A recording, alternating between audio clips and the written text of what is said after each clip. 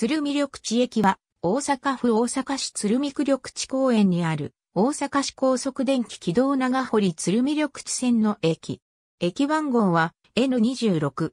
ホーム島式一面二線のホームを持つ駅である。堀割部分に駅舎があり、その地下にホームがある。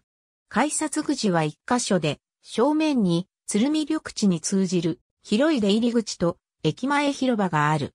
当駅はドーム前、千代崎管区駅に所属しており、横堤駅が管轄している。